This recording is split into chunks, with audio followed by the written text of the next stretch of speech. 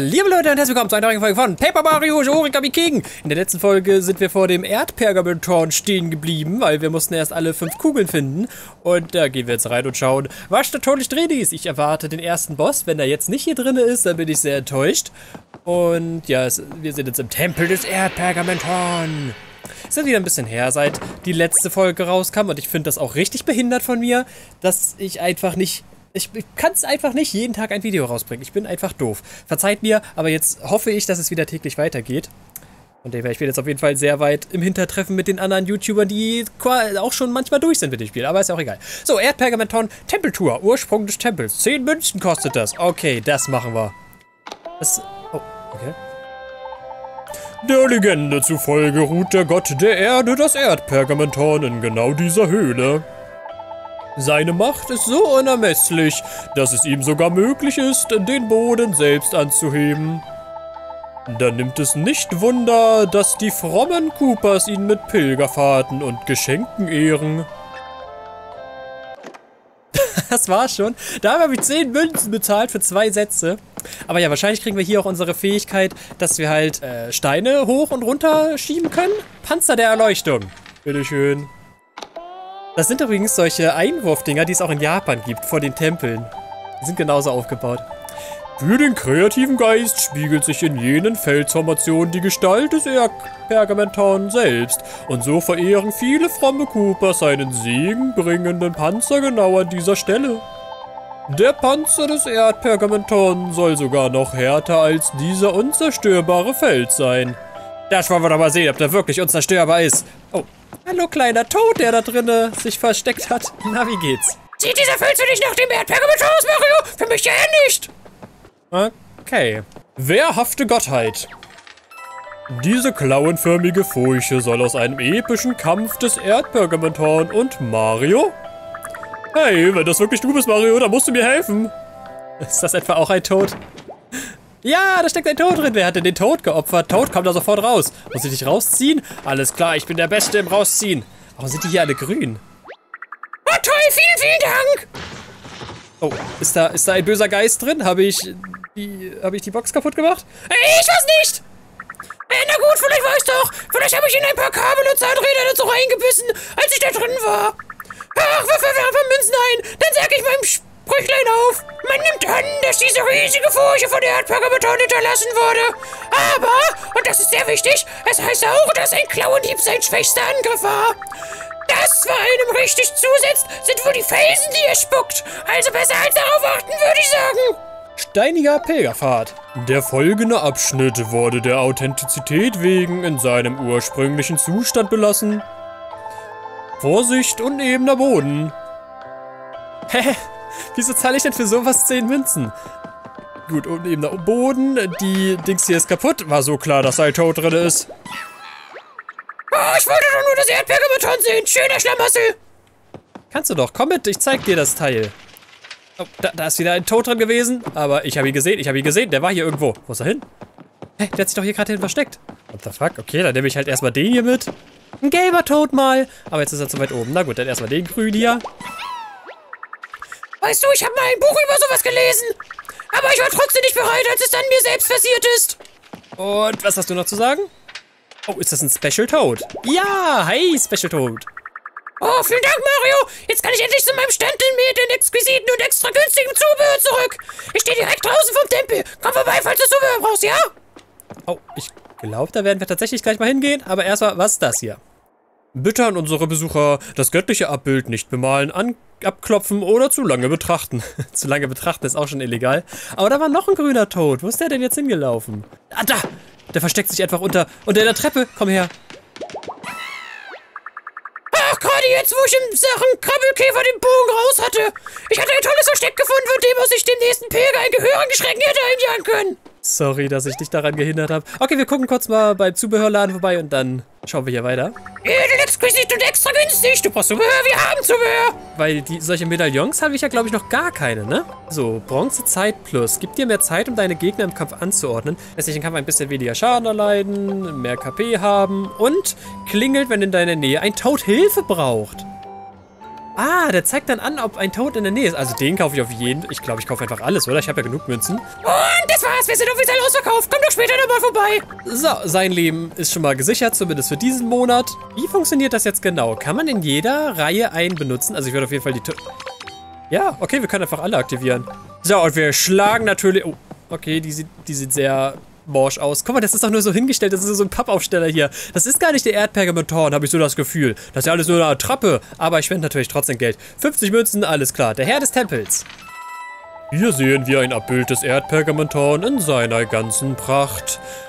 Auch wenn er selbstverständlich vollkommen unbezwingbar ist, möge man sein Schwänzchen beachten. In gewissen Legenden wird sein formidables Hinterteil als nicht komplett unbesiegbar beschrieben. Es ist diese Kombination aus großer Macht und großer Schwachstelle, die ihn so allerseits beliebt macht. Und damit ist der letzte Teil dieser Tempeltour beendet. Wir erwarten Ihre großzügigen Spenden. Hä, wie? Hier ist schon Schluss? Ein bisschen enttäuschend, oder?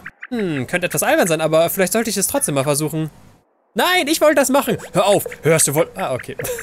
Liebes Erdpergamenton, wenn du mich hörst, könntest du vielleicht so gnädig sein, den Felskram auf unserem Weg zur Luftschlange beiseite zu räumen. Wir ähm, danken dir für all deine Gaben und, und hoffen auf deine schildkrötige Unterstützung. Tja, das hat nichts geklappt. Jetzt ist es mir etwas peinlich, dass ich versucht habe. Mario, tu irgendwas. Ich finde das schön, dass sie das so ein bisschen an, an Japan tatsächlich angelehnt haben. Also sowohl mit diesen Spendenboxen als auch mit den Beten und sowas. Eigentlich hätte sie jetzt noch zweimal in die Hände klatschen müssen. Und an so einen Dumble ziehen müssen. Aber wir wissen ja, was wir hier zu tun haben. Denn das ist nur eine Attrappe, alles Fake. Oh, du hast das Erdbeerbeton einfach umgeworfen. Das war nicht das richtige Erdbeerbeton. Ich find's schön, wie diese ganzen Toads auch richtig erschrocken sind. Oh mein Gott, Mario macht alles kaputt. Ey, ich meine, hoffentlich sind wir jetzt nicht verflucht. Wie wird man normalerweise für das Verwüsten einer heiligen Stätte bestraft? Okay, ich glaube, ich will runter. Ja, ich will runter. Nice. Okay, so, jetzt sind wir in unserem ersten Dungeon drin. Und die soll ja ein bisschen Zelda-like sein, wenn ich das... Äh. Wenn ich das richtig gelesen habe. Man weiß ja schon von den Trailern, dass die Bosse jetzt keine Koopas oder so sind, sondern irgendwelche Malgegenstände und irgendwas, was doof für Origami ist. Deswegen bin ich mal gespannt, was hier bei den Coopern jetzt für ein Boss drin sein wird. Wenn hier überhaupt ein Boss drin ist. Vielleicht ist das ja gar nicht so. Denn der legendäre Cooper. Ich muss ihm unbedingt ins Maul klettern. Äh, klingt das komisch? Egal, los geht's. Ganz nebenbei und ich hoffe, ich beschwöre sie damit nicht. Wir haben schon lange keine Fallstärken mehr gesehen. Oh, wieso musstest du es jinxen? Livia, du bist so ein Vollidiot. Äh, ich glaub's ja wohl nicht. Das war doch klar. Egal, wir machen die einfach fertig. Haben wir schon mal gegen Origami-Koopas gekämpft? Ich, doch, doch, haben wir, ne? Haben wir, glaube ich, schon mal, ja. So, okay. Concentration. Wie standen wir eben? Oh, wir haben so viele Dinger. Das ist ja richtig geil. Oh, yeah. So viel Zubehör. Okay, ich glaube, wir müssen die einfach... Ja, ja, das ist, das ist sehr einfach. Einfach alle dazwischen packen. Easy Game. Ich glaube, die, die schon in ihrem Panzer sind, die sterben sowieso, genau. Das heißt, die andere Reihe, da wird auch auf jeden Fall sterben. Ne, warte, ihr noch nicht. Erstmal sind die dran. Bin ich gespannt, ob der eine Panzer schon langt, um die anderen zu vernichten. Ja, okay, nice. Wäre Mario jetzt noch weitergesprungen? Sah nämlich so aus. Wenn die jetzt nicht tot gewesen wären, wäre er trotzdem noch weitergesprungen, oder wie? Das wäre ja krass. Mist, und hätte ich jedes Mal A richtig gedrückt, dann wären die sogar alle tot. Oh nein, ein Gegner. Was soll ich tun? Oh nein, der greift sogar an. Au! Los, bring es zu Ende. Okay, große liebe Schrift aus der Höhle. Mach ich. Gut, aber wie kommen wir denn da hoch? Aua, okay, so schon mal nicht. Vielleicht sollte man einfach den Weg benutzen, der hier ist. Wäre so eine Überlegung. Warte, nein, ich will doch den... Okay, das hat gar nichts gebracht. Äh, okay, ich habe schon gedacht, ich falle da... Okay, never mind. Kann ich... Ich starte einfach ganz links. Guck mal, hinten ist ein Tod. Ich sehe dich, kleiner Tod. Ich sehe ich seh dich ganz genau. Ich weiß nur leider nicht, wie ich an dich rankommen soll. Das ist ein bisschen belastend. Aber ich finde schon, oh, ich finde schon einen Weg. Aber erstmal muss ich diesen Fallschergen runterschmeißen. Okay, dann verdichte ich ihn einfach. Jetzt würde mich aber auch mal interessieren, was denn passiert, wenn ich die jetzt hier anhammere, weil einer ist ja schon in seiner Panzerform. Macht er dann? Nee, aber sterben trotzdem alle. Okay. Interessant. Der wird also nicht weggedätzt. Nur wenn man auf ihn raufspringt. Da hinten sehe ich schon wieder so einen Sticker von dem bösen König Olli, was er hier wohl zu verstecken versucht. Was sind das? Glitzerstiefel. Die sind noch stärker als Eisenstiefel, aber nicht geeignet für Stacheln. Toll. Machen also mehr Damage, aber bei Stachelgegnern kann man sie trotzdem nicht verwenden. Ich vermute mal, der wird jetzt nach unten gehen. Danke. Und dann können wir nämlich den Tod hier retten. Kleiner Tod, Sie sind gerettet. Oh, okay, noch sind Sie nicht gerettet, aber Sie sind gleich gerettet. Oh, hier ist ein Tod in der Nähe. Wo denn? Hä, die Glocke hat geklingelt. Jetzt sehen Sie mich? Oh, okay. Okay, mal gucken. So, und den einfach noch einen nach dahin. Jetzt bin ich gespannt, was passiert, wenn wir die... Okay, der detzt weg. Und wir können weiterspringen. Okay, ja, mega nice. Ja, aber wieder gar kein Problem. Bin doch der Beste. Wieso habe ich jetzt eigentlich 60 Leben? Hatten wir nicht eben noch 55? Weird. Und das ist ein Special Toad. Oh, ich danke euch. Ihr habt ja keine Ahnung, wie lange ich hier gefangen war. Ich bin der Verwalter dieser Gestempels, müsst ihr wissen. Nein, nur aus der Erinnerung kreit, kreit, kreiertes göttliches Abbild war. Kreiertes? Göttliches Abbild war verbesserungswürdig. Also kam ich hierher, um das Original zu suchen. Gut, eigentlich interessiert mich nur, wie viele Münzen ich damit machen kann. Doch habe ich deshalb den Angriff dieser Verlapperflaps verdient. Hm, wahrscheinlich schon. Naja, sei vorsichtig auf deinem Weg nach draußen, Mario. Er hatte eine coole Sonnenbrille auf. Ich hätte ihn gern geschlagen. Was hat er gesagt? Wir sollen aufpassen auf dem Rückweg? Warum hat er das gesagt? Will er uns was Böses? Ich komme in den richtigen Tempel noch nicht rein. Oh nö, jetzt muss ich hier voll den Umweg laufen. Kein Ding. Dann gehen wir halt erst hier rein. Und hier kommt ja auch noch irgendwie dieser Stein, der einen später verfolgt, ne? Oder oh, ein Glitzerhammer.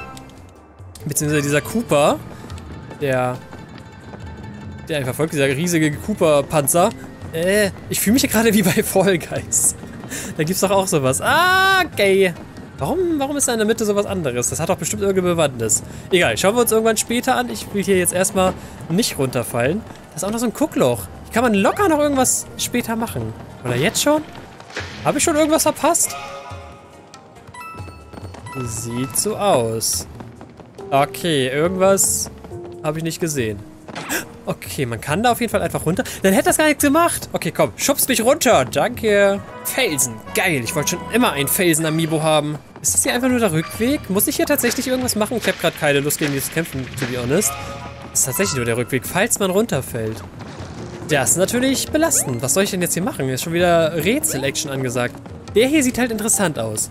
Warum bist du da? Du schubst einen trotzdem nur runter. Okay, jetzt muss ich doch kämpfen. Hm, habe ich bisher noch nicht gesehen, was ich machen muss. So, habt ihr jetzt irgendeinen Hinweis, was ich hier machen soll? Muss ich hier unten irgendwas machen? Da, okay, nee, da oben ist nichts. Sieht man von hier unten irgendwas, was man da oben machen kann? Nicht wirklich. Und der hier greift mich gar nicht an. Bist du ein Tod? Du bist kein Tod. Wieso hat er mich denn nicht angegriffen? Der, war, der sah so lieb aus. Rätsel sind ja voll meine Stärke zum Glück, deswegen weiß ich natürlich, was ich hier machen muss. Okay, wir haben da oben so einen komischen Kopf. Der hat doch bestimmt irgendwas zu sagen. Kann ich dich anschnubbeln? Nee. Hm, kann ich die Dinger irgendwie kaputt machen? Ich meine, hier ist natürlich auch eine Wand, wo man durchgucken kann. Aber hier ist weder irgendwas auf dem Boden, was ich irgendwie... Also, dass ich irgendwie meine Arme benutzen könnte oder sowas. Oder sonst irgendwas. Warte, habe ich da gerade was gesehen? Ist da eine Tür? Hä? Ja, da ist doch so ein Durchgang. Ja, oh. Hä, das ist ja mega nice. Okay. Einfach so ein Durchgang bei diesem Schiebeteil. What the fuck? Da muss ja da richtig genau hingucken. Okay, weiter geht's. Mein Gott, das ist ja wirklich ein richtiger Dungeon. Was passiert jetzt? Ein Gegner, gegen den ich aber nicht kämpfen möchte. Nee.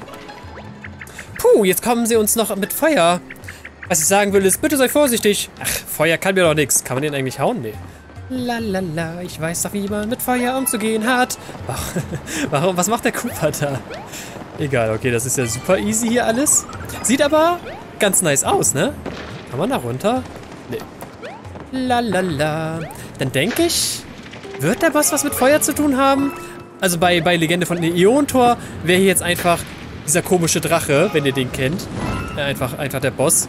Aber hier ist der Boss, glaube ich, einfach äh, ein bisschen lächerlich. Oh mein Gott, macht das viel Damage. Okay, ich sollte versuchen, nicht getroffen zu werden, habe ich gerade bei diesem bisschen angebratenen Mario-Geruch vernommen.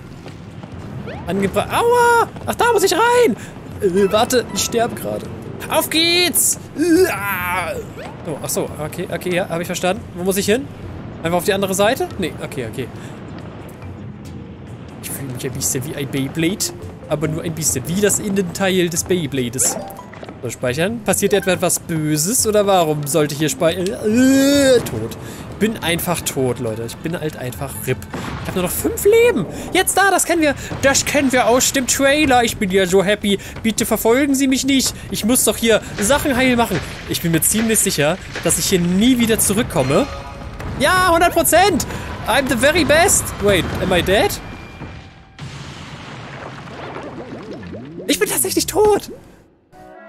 Oh. Naja, an sich muss ich ja einfach nur in so einer Lücke stehen. Ja, guck, genau, so muss das laufen. Sonst wird er nämlich einfach zerquetscht. Geil. Ist das ein Leben, das mir sogar mehr Leben gibt?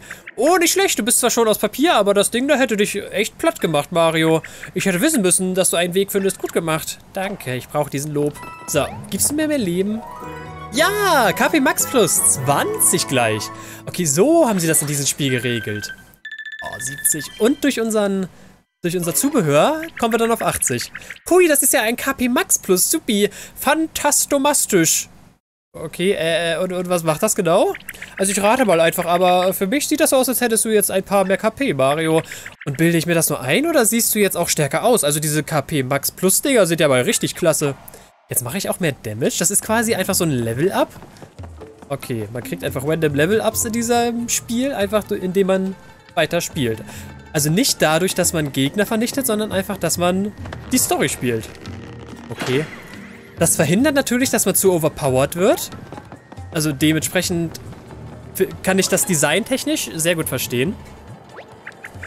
Aber macht halt diesen RPG-Stil von dem, von dem Game weg. Man kann halt auch dann nicht grinden, um dann overpowered zu sein. Also ich kann beide Seiten verstehen. Äh, wir haben es geschafft, na gut. Ärger, Beton, Statue, Mund auf und Augen zu. Jetzt kommt nämlich wir. Würde ich aber sagen, schauen wir uns am nächsten Mal an, weil das wird garantiert dann der Boss hier sein oder was auch immer da drinnen wartet. Auf jeden Fall danke fürs Zuschauen, bis zum nächsten Mal. Tschüss.